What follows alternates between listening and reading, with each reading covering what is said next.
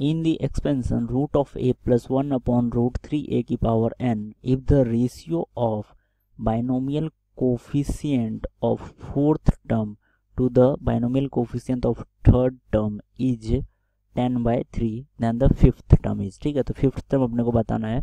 और binomial coefficient का ratio क्या क्यों बना है?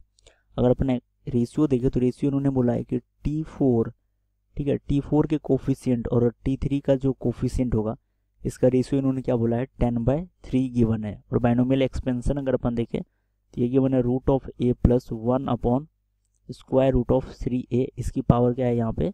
इसके लिए पावर है यहाँ पे एन ठीक है? तो इसके लिए मैं जनरल टर्म लिखता हूँ पहले, ठीक है? तो इसके लिए अगर मैं जनरल टर्म लिखूँ तो ठीक है तो इसके लिए लेट से अगर मैं जनरल टर्म लिखूँ तो जनरल टर्म क्या आ जाएगा? General term T R plus one लिखते हैं, ठीक है? General term T R plus one लिखते हैं। और ये होता है एन सी आर और ये आ जाएगा क्या? रूट ऑफ़ ए की पावर क्या आ जाएगा यहाँ पे? एन माइनस आर और यहाँ पे आ जाएगा one upon root three a one upon root three a की पावर क्या आ जाएगा यहाँ पे? आर तो इसके लिए जनरल टर्म होगा, ठीक है? तो अगर मैं यहाँ पे आर की वैल्यू क्या पुट करूँ? आर की वैल्यू अगर मैं थ्री पुट करूँ, ठीक है? तो अगर मैं यहाँ पे आर की वैल्यू थ्री पुट करूँ तो ये वैल्यू क्या आ जाएगा? टी फोर होगा, ठीक है? आर की वैल्यू थ्री पुट करूँ तो टी फोर क्या आ जाएगा यहाँ पे? एन सी थ्री और यहाँ पे वैल्यू क्या आ जाएगा?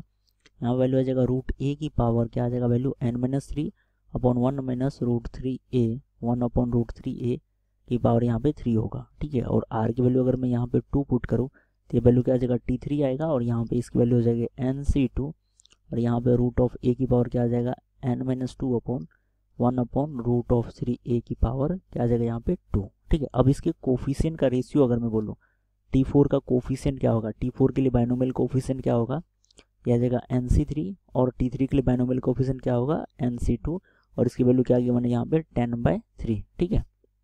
ये यह यहाँ पे गिवन है, ठीक है? अब अगर मैं इसकी वैल्यू को सॉल्व करूँगा तो ये क्या लिखा हुआ है? ये लिखा हुआ है एन फैक्टोरियल अपॉन ये आ जाएगा three factorial into n minus minus three factorial और एन सी टू अगर मैं ओपन करूँ तो आ जाएगा एन फैक्टोरियल और यहाँ पर आ जाएगा टू फैक्टोरियल और ये आ जाएगा एन माइनस टू फैक्टोरियल ठीक है? ये रेशियो को अपन ओपन करें तो ये आ जाएगा। ये अपने पास गिवन है टेन बाई थ्री ठीक है? अब अगर मैं यहाँ से वैल्यू देखूँ तो ये एन फैक्टोरियल से एन फैक्टोरियल कैंसिल होगा। और अगर मैं टू फैक्टोरियल से इसको कैंसिल करूँ तो यहाँ पे थ्री आएगा।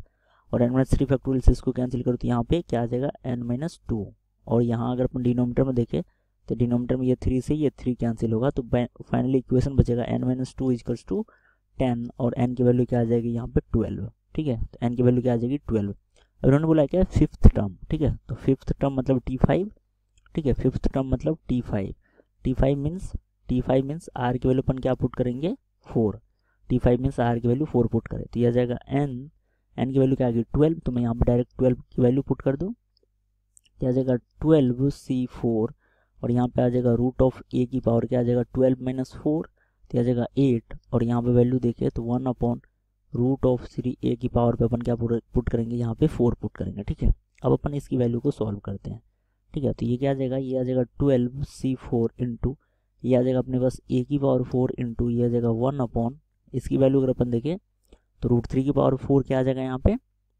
आ जाएगा नाइन और ए क्या आ जाएगा यहाँ पे? यहाँ पे आ जाएगा ए स्क्वायर ठीक है? तो यहाँ से बेसिकली अगर मैं वैल्यू देखूँ तो ये आ जाएगा a square upon nine times of twelve C four अब मैं ट्वेल्व सी फोर की वैल्यू यहाँ पे सिंप्लीफाई करता हूँ तो जगह ए स्क्वायर बाई नाइन ठीक है? ट्वेल्व सी फोर की वैल्यू देखो तो यह जगह twelve into eleven into ten into nine into eight factorial इसको लिख सकते हैं? डिवाइडेड बाई ये वैल्यू आ जाएगा eight factorial into four factorial को लिखूँगा मैं four into three into two into one eight factorial से एट फैक्टोरियल कैंसिल होगा फोर थ्री या ट्वेल्व तो ट्वेल्व से ट्वेल्व कैंसिल होगा। टू से अगर मैं इसको कैंसिल करती है फाइव आएगा और ये नाइन से ये नाइन कैंसिल हो जाएगा। तो एलेवन इंटू फाइव क्या आ जाएगा यहाँ पे? ये फिफ्टी फाइव और ये ए स्क्वायर तो यहाँ पे अगर अपन देखें तो टी फाइव की वैल्यू क्या आ गई? Fifty five a square option fourth is the right answer